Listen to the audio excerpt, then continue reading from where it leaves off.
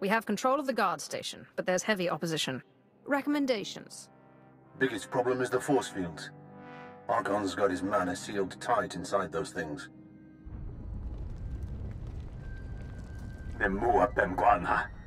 Kumia yang memgamba paka.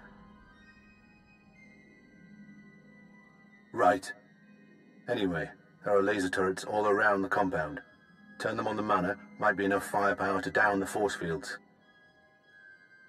Stay in communication. The force fields will be down shortly. Yes, my lord. Once you're inside, it'll be a straight line to the Archon. And with a bit of luck, the people he took. Let's hope they're alive.